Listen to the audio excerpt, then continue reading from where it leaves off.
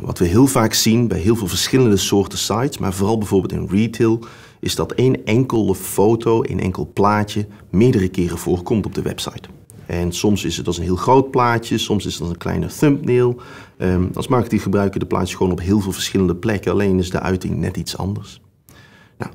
Het leuke daarvan is dat je de site er heel visueel rijk mee kan maken, maar we komen heel vaak tegen dat marketeers daardoor heel vaak naar hun Photoshop gebruiker moeten gaan om te vragen van, zou je voor mij het plaatje kunnen aanpassen? Kan je voor mij een kleine uitsnede maken? Ik wil hem nu wat groter hebben.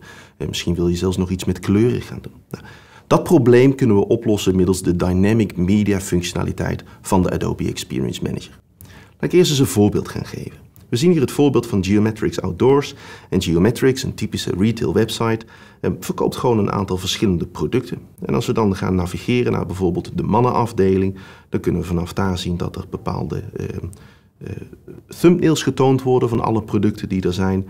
We zouden bijvoorbeeld ook naar shorts kunnen gaan. Dan zie je de plaatjes nog een keer terugkomen. En die Jolla Summer broek die daar staat, ehm, die kan ook als een groot plaatje getoond worden. En ook weer als weer wat andere resolutie thumbnails op het moment dat je van bijvoorbeeld kleur wilt gaan kiezen.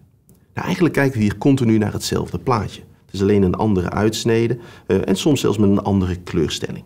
De kleurstellingen gaan we vandaag niet naar kijken, maar we gaan wel kijken hoe kunnen we nou makkelijk omgaan met die verschillende resoluties van de plaatjes die er zijn. Om dat te laten zien ga ik terug naar het Adobe Asset Management Systeem, IM Assets. Daar heb ik reeds een aantal plaatjes geüpload, eh, allemaal die te maken hebben met een rugzak. Het zijn allemaal foto's die we in de studio gemaakt hebben. We hebben ze automatisch geïmporteerd in het asset management systeem. En in dit geval zien we dat we uh, de rugzak in meerdere kleuren hebben gefotografeerd. En dat we zelfs van één kleur um, een 360 spin hebben gedaan. Oftewel, we hebben 36 plaatjes, elke keer de rugzak in een iets andere hoek. Waardoor we hem uiteindelijk op de website kunnen gaan laten draaien als mensen daar de interactie mee hebben. De plaatjes die we hebben geüpload, dat kunnen we zien, dat zijn allemaal hoogresolutie plaatjes. 2000 bij 2000 pixels. Dus wanneer we een hoogresolutie plaatje hebben geüpload in het asset management systeem, kunnen we daarna datzelfde plaatje in allerlei groottes, varianten opvragen middels een simpele URL-parameter. Een commando dat we meegeven op het moment dat we het plaatje oproepen. Standaard zie je bijvoorbeeld dat de backpack uh, underscore C foto in een resolutie van 300 bij 300 getoond wordt aan de eindgebruiker. Stel nou dat ik om wat voor reden dan ook de resolutie, dus de grootte van dat plaatje zou willen aanpassen, dan zou ik heel eenvoudig via dat URL-commando kunnen aangeven dat ik hem bijvoorbeeld in een hoge resolutie zou willen hebben. Of dat ik de breedte uh, iets wat kleiner zou willen hebben en 123 zou willen hebben wanneer het als een thumbnail op de site gebruikt wordt. Je ziet terwijl ik dat ingeef dat het plaatje eigenlijk meteen gerenderd wordt voor mij. Nou, dat is de kracht van Dynamic Media binnen het asset management systeem. Het plaatje wordt op het moment dat jij het nodig hebt meteen in een halve seconde nog minder voor je gegenereerd. Dat betekent dat je niet een Photoshop designer hoeft te vragen om al die verschillende varianten vooral voor jou te maken en in het systeem te uploaden. Je zou dus als webredacteur heel makkelijk zelf middels de URL-parameters kunnen aangeven in welke resolutie je het plaatje zou willen gebruiken in de website die je hebt. Dus we hebben gezien hoe het systeem middels parameters heel eenvoudig zelf hoge en lage resoluties van plaatjes kan laten zien. Nou, een hele praktische toepassing die daarbij hoort is de zoom-functionaliteit die heel veel op productpagina's getoond wordt.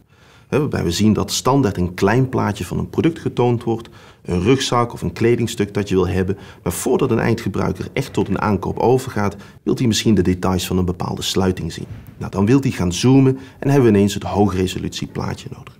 Nou, de viewers die wij meeleveren, dus de slimme user interfaces met wat knopjes die we kunnen integreren in een pagina, die kunnen heel slim daarmee omgaan en die zullen op het juiste moment de juiste resolutie van een plaatje opvragen. Dus stel nou dat ik geïnteresseerd ben in een bepaald sluitingje, kan ik gaan zoomen. We zien heel even de lage resolutie en op dat moment wordt de hoge resolutie naar binnen gehaald en heb ik in heel veel detail zicht op dat sluitingje van de rugzak. Wanneer we nog wat verder gaan, zijn er nog andere toepassingen mogelijk. We hadden bijvoorbeeld gezien hoe ik 36 plaatjes had waarmee we de rugzak van alle kanten konden bekijken. Dat is naast zoomen een van de meest gevraagde functionaliteiten door een bezoeker op een website. Laten we daar eens naar gaan kijken. Ik heb binnen de Adobe Experience Manager die 36 plaatjes gebundeld in een zogenaamde collectie. En die collectie die kan ik bekijken door een van de viewers die we standaard meeleveren. Een van die viewers is de spinviewer. Daarmee kunnen we de rugzak oppakken en door het slepen van de muis heel eenvoudig roteren, waardoor we alle kanten van de rugzak kunnen bekijken. Uiteraard kunnen we nog steeds gaan zoomen en zullen we de hoogresolutieplaat meteen te zien krijgen. En ook vanaf daar kan ik andere details opvragen. Dynamic Media, als onderdeel van Adobe Experience Manager, levert de standaard bouwblokken voor marketeers om dit soort functionaliteiten in hun website te integreren.